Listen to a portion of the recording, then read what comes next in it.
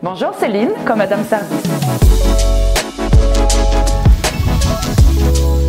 Vous êtes propriétaire et louez votre domicile ou vous avez une résidence secondaire. Que vous soyez professionnel ou particulier, nous avons pour vous des solutions de ménage.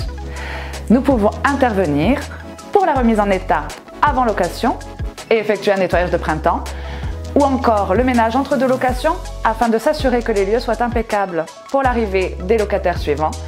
Et enfin, un ménage pendant votre séjour. Nous pouvons intervenir afin que vous puissiez profiter de vos vacances en toute quiétude.